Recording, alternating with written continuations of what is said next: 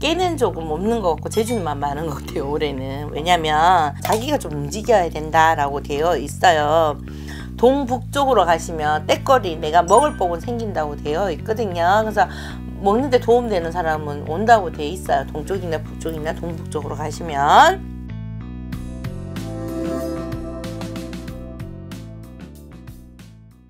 안녕하세요. 9월산 백화할매당입니다. 2022년도에 응. 삼재띠 중에 원숭이띠 원숭이띠.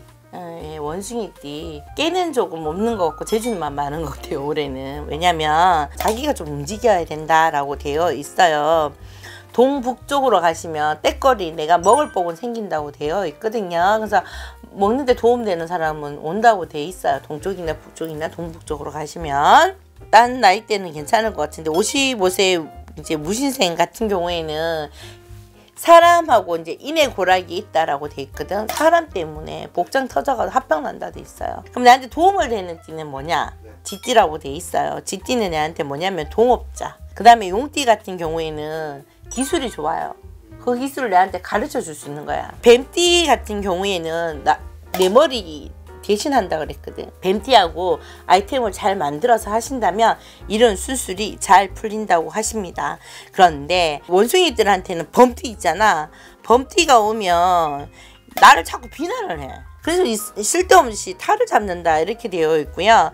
토끼띠 같은 경우에는 공든탑이 무너진다 하던가 할배가 그거 하더라고. 다 이루어 넣는 거 흐트러나. 시기 질투로 있잖아. 니 거 별로야 하고 다 흐트러 놓더라고. 그러니까 음, 부부 관계에서도 이런 분이 있으면 좀 신경을 쓰셔야 된다고 되어 있고요. 뱀띠하고 토끼띠하고 손잡잖아.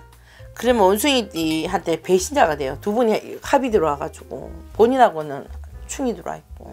그러니까 그것도 조금 신경 쓰셔야 된다라고 되어 있고요. 원숭이 분들 같은 경우에는 내년에는 진짜 발 빠르게 움직이세요. 좀 열심히 뛰어보세요. 그러면 하는 일이나 마음먹은 일이나 준비했었던 준비하신 일들이 조금 천천히 천천히 이렇게 해서 하시면 하반기에는 본인들 원하는 대로 다 이루어질 수 있다고 봅니다. 좋은 일만 가득하셨으면 좋겠습니다. 그리고 동짓날 삼재풀이 하니까 삼재이신 분들은 지금이라도 빨리 전화 주시기 바랍니다.